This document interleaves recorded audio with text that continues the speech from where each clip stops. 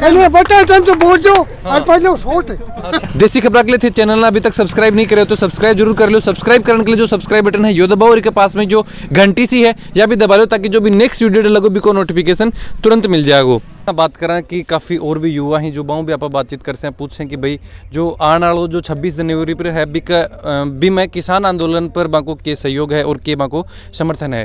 हाँ जी थारो परिचय है जो आपने दर्शकन करवा मेरा नाम पूजा जानू है और मैं भी बीए फाइनल में पढ़ती हूँ और वर्तमान में मोरारका कॉलेज है उसकी वाइस प्रेसिडेंट हूँ। और अभी फ़िलहाल मैं अखिल भारतीय किसान सभा में काम कर रही हूँ। हम्म, तो जो के देखा कि थे भी जो जाके गाँव टू गाँव जो लोग संपर्क कर रहे हो हाँ गाँव में संपर्क कर रहे हैं और अभी तेईस जनवरी को अब आने वाले तेईस जनवरी को हम गाँव में मीटिंग वगैरह कर रहे हैं। सभी किसान भाई भाई लोग जो माता पिता बुज़ुर्ग हैं मेरी माताएँ बहनें हैं वो सभी उन ट्रैक्टर ट्रॉलियों के साथ वहाँ पे सांजापुर बॉर्डर पर दिल्ली की तरफ़ कूच करेंगी। और भारत एक कृषि प्रधान देश है और इसमें सत्तर परसेंट लोग किसानी पर हमारी किसानी करते हैं। अगर कि दे किसानी नहीं बचेगी तो देश भी नहीं बचेगा देश बर्बाद हो जाएगा। तो जो जाके जी भी गाँव में जाओ हो बैठे थे जो बात करा मोस्टली महिला या फिर जो लड़के अगर बात करो तो क्या रिस्पॉन्स में आ रही रिस्पॉन्स यही है कि हम ज़्यादा से ज़्यादा भागीदारी निभाएँगे और आपके साथ मजबूती के साथ खड़े रहेंगे कंधे से कंधा मिलाकर। वो अच्छ, तरीके से बोल रहे हैं कि हम ज़रूर जाएँगे वहाँ पे। तो लगभग की उम्मीद करी जाए कि कत्ती महिला ही या फिर जो लड़की ही जो थारे साथ में जुड़ेंगी आंदोलन में? अभी मैं गाँव में मीटिंग वगैरह की थी तो पचास साठ महिलाएँ, मैंने उनसे बात हुई थी तो वो बोले, बेटा, ज़रूर चलेंगे। और उन्हें मैंने जो तीन, जो सरकार ने, मोदी सरकार ने जो तीन काले कानून अध्यादेश जो लागू किए हैं, उनके खिलाफ मैंने उनके बारे में अच्छी विस्तार से बताया, समझाया। तो उनके समझ में आया कि हम सत्तर परसेंट है ना, वो किसानी पर डिपेंड है। अगर ये हमारा किसान, अगर हमारे अगर ये किस, किसानी नहीं बचेगी तो कुछ भी नहीं बचेगा। और सरकार ने जो तीन अध्यादेश, एक तो कृषि उत्पादन, व्यापार, वाणिज्य है, जिससे हमारी ज़मीन छीनने का प्रयास किया है, और एक भूमि बंदोबस्त, मूल्य आश्वासन अधिनियम है, उसके द्वारा हमारी मंडी छीनने का प्रयास किया है, और तीसरा आवश्यक वस्तु अधिनियम, जिसमें सरकार ने जो हमारे जो आवश्यक वस्तु हैं उन पर टैक्स लगाने का प्रयास किया है। तो ये तीन काले कानून हैं। जब तक मोदी सरकार इन तीन काले कानूनों को वापस नहीं लेगी, तब तक हम जो Tikri border, Singhu border, Shahjahanpur border और जो अलग अलग बॉर्डर हैं, उन पर लोग है ना, वहाँ पे बैठ, बैठे रहेंगे सड़कों पर और हमारा आंदोलन जारी। दो महीने से लोग इस कड़ाके की सर्दी में, ठंड में बैठे हुए हैं। सरकार को थोड़ी बहुत तो शर्म करनी चाहिए कि भाई, इस सर दिन रात आए दिन किसान सड़कों पर मर रहा है उस मोदी सरकार वो किसानों को पता नहीं क्या क्या माओवादी बताती है खालिस्तानी बताती है टुकड़े टुकड़े गैंग बताती है। और मैं कहना चाहती हूँ उस मोदी सरकार को कि भारतीय जनता पार्टी और आरएसएस को उसका एक एक अपमान का बदला लिया जाएगा। हम्म, देखा तो सरकार यह भी बोल रही है कि जो कानून जो पास करे जा रहे हैं अभी बतायो कि जो एक पहलो जो कृषि कानून थे बतायो है कि बी के ऊपर अगर कॉन्ट्रैक्ट फ़ार्मिंग अगर अगर हुआ है तो बिकमान किसाना की ज़मीन पर कोई फ़र्क कौन पड़ेगा? किसान की ज़मीन है किसान की रहेगी। लेकिन बाद में भी यह चीज़ क्यों बोली जा रही है कि भाई किसान अगर ये कानून लेना ही नहीं चाहते, किसान को ये कानून पसंद ही नहीं है तो आप कानून क्यों दे रहे हो?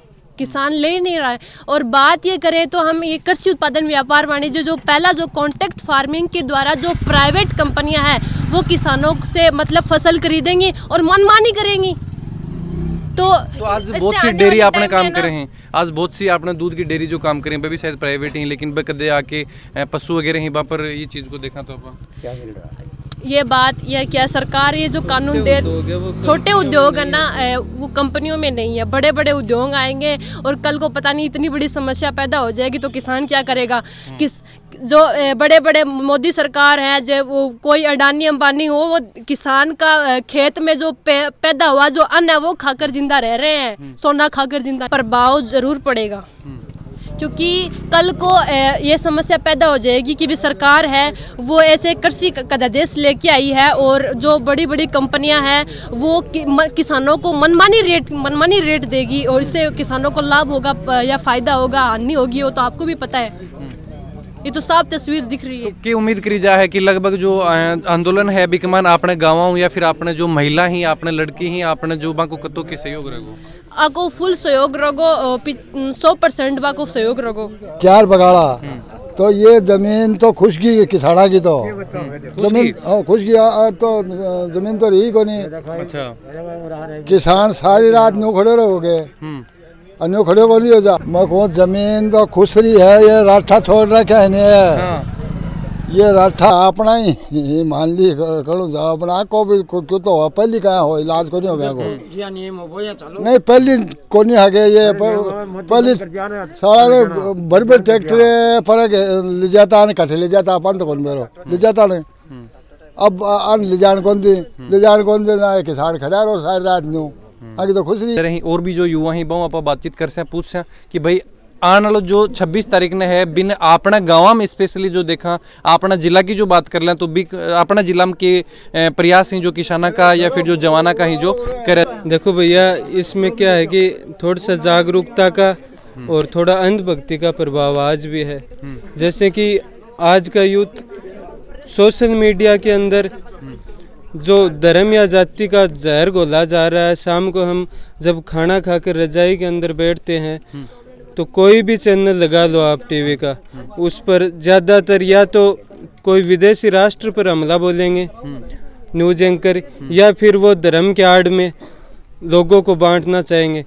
तो पढ़ा लिखा तबका भी, मेरे भी कई साथी उस जहर के अंदर आ चुके हैं। उन साथियों को मैं यही कहना चाहूँगा कि सांप्रदायिक जहर से ऊपर उठकर और अपनी तरक शक्ति के आधार पर प्रत्येक चीज़ का मंथन करके और फिर इस आंदोलन को देखे।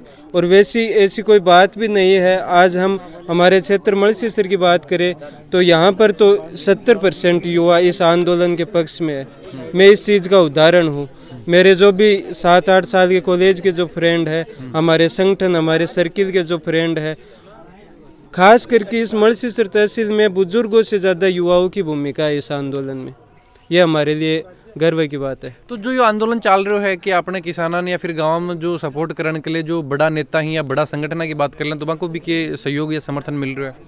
नहीं नहीं बड़ा नेता चाहे कांग्रेस का मान लो चाहे बीजेपी का मान लो दोनों ही तरफ़ है। न्यूट्रल ही कांग्रेस तो आ चाह रही है कि जो ही मोदी सरकार झुकेगी तो वो वोट बैंक अपना का नहीं खिसक जैसी लेकिन आ चीज़ घना दिन चालन वाली को नहीं वोटर भी चीज़ न समझगो।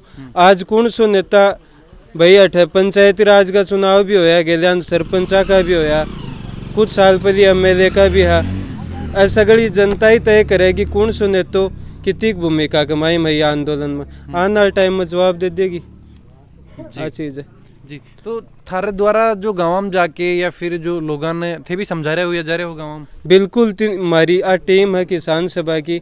आ प्रत्येक गाँव में जारी है चौक कमाई और जो लाइजन का किसान सभा के अकॉर्डिंग के जो लोग हैं उसी से हम मिल रहे हैं और ज़्यादा से ज़्यादा लोगों को लामबद्ध कर इस आंदोलन में तेईस तारीख को कूच करने की तैयारी में लगे हुए हैं। कतों के सहयोग या समर्थन या फिर थारा द्वारा लोगों के समझाए जा रहे हैं?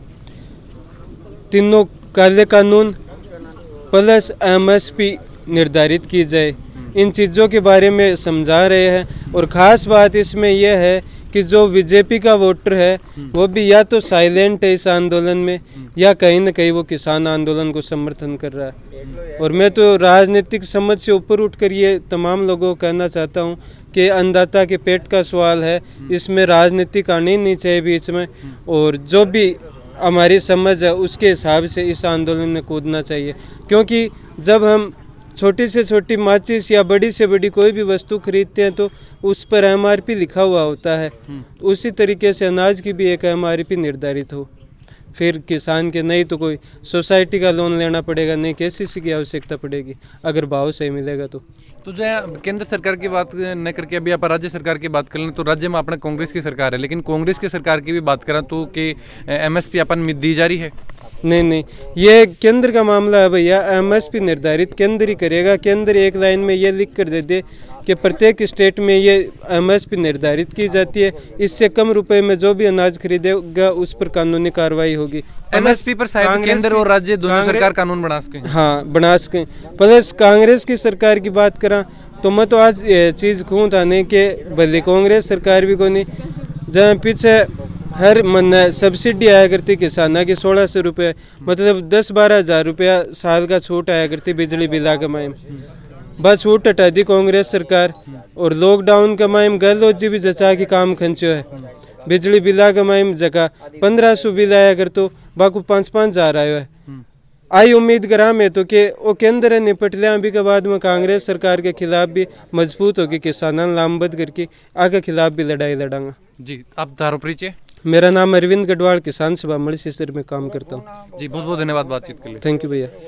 तो देखा कि जो किसान सभा का जो भी अ, किसान संगठन का जो भी पदाधिकारी फ़िलहाल जो लगातार ही जो लोगान गाँव में जाके समझा रहे हैं और पूरी तरीके में देखा भी काफ़ी गाँव में अपन ने कि जो गाड़ी ही जो ऊपर पोस्टर या फिर बैनर बिलेड़ा मिल जाएगा और जो लोगान जाके गाँव में समझा रहे हैं कि ज़्यादा से ज़्यादा है जो किसान संगठन जो किसान आंदोलन जो चाल रहे है बिन आपको समर्थन दी और यह जो अनाउंसमेंट जो आज देखा, आज को बहुत बड़ो अनाउंसमेंट करे गए है कि जो किसान आंदोलन केंद्र सरकार के खिलाफ जो जो दिल्ली में चाल रहे है वो संपन्न होने के बाद में है कि राज्य सरकार भी है, जो राज्य सरकार के खिलाफ भी प्रदर्शन वगैरह जो करा जाएगा और जो कृषि जो बिलों की बात करें, बिजली का बिलों की बात कर लें, अगर बिजली का बिल ही जो बढ़ के आ रही तो बाकी भी संघर्ष के द्वारा करो जागो। वीडियो के बारे में थोड़ा जो भी विचार ही, ज़रूर थे कमेंट बॉक्स में लिख के बताओ। देसी खबरों के लिए है, जो खबर लोग चैनल ने थे, सब्सक्राइब ज़रूर कर लो। सब्सक्राइब करने के लिए जो सब्सक्राइब बटन है, यो दबाओ और इसके पास में जो घंटी सी है, या भी दबा लो, ताकि जो भी नेक्स्ट वीडियो डला भी को नोटिफिकेशन तुरंत मिल जाए। जय झुंझुनू, जय राजस्थान, जय हिंद। किसान ने कोई को नहीं पूछे। अच्छा क्या कहा को नहीं पूछे? किसान मर जाओ माँ तो पूछे तो किसान। कोई को नहीं पूछे? मैं कह रही हूँ। नहीं जीन तो दे तो किसान है। हाँ मैं कह रही हूँ? नहीं वोटा का टाइम पर क्या बताओ। कहने बता टाइम तो बोल दो। और पहले सोच सोच मारे पास कहीं कुछ कौन है तू? मैंने कर दिया वोट मैं तक दिया जीता हूँ। हाँ किसान हाँ किसान दिया था